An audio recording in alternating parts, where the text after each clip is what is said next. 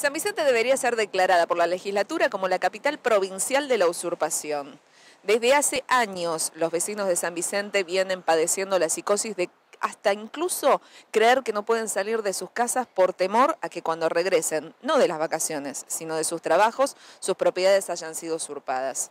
Hay una enorme cantidad de denuncias que datan de años algunas, meses otros, que tienen ramificaciones de grandes bandas, de bandas medianas y de bandas al chiquitaje, que incluye una mafia con vínculos con el poder local.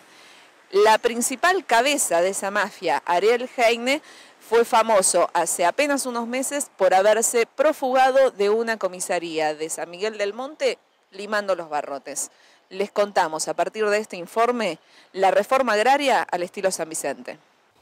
Esta casa la compró mi padre en el 88 eh, a un tal rabino. Él venía acá cada seis, siete meses, después eh, tuvo problemas cardíacos y no venía tan a menudo. Él nunca vivió acá, digamos, eh, venía mi familia extendida a pasar vacaciones, tenía una hermana que también venía acá, casi, ella venía más, casi todos los veranos estaba acá y los fines de semana. ¿Y vos eh, heredaste la casa? Correcto. ¿Te encontraste cuando quisiste hacer uso de, tu herencia? ¿Con qué situación? Eh, yo vine en el 94 por negocios. Eh, en ese entonces mi padre tenía un casero acá, un cuidador. Eh, vi la casa por la primera vez, él falleció en el 94 y inmediatamente yo viajé por negocios y también vine a visitar la casa y no estaba como estaba ahora. Eh, estaba mucho mejor, estaba en su, en su estado original.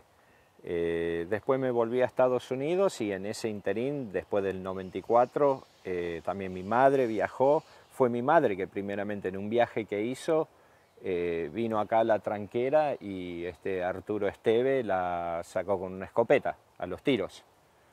Eh, ya parece entonces la casa estaba usurpada. Estaba usurpada, pero yo tengo entendido de que habló con esta gente y se fueron. Luego, aparentemente en algún momento, volvieron a tomar, a tomar el predio. La denuncia de Fabián Papa no solo es una de las primeras que corre el velo sobre el accionar de la mafia de las usurpaciones, sino que además su casa, Villa Raquel, fue mudo testigo de la intimidad de la banda que por entonces comandaba Arturo Esteve. Con la muerte de Esteve ascendió Heine, quien se puso al frente de la organización junto a la expareja de Esteve, Valeria Hernández, ex funcionaria municipal y hoy otra de las detenidas por esta causa.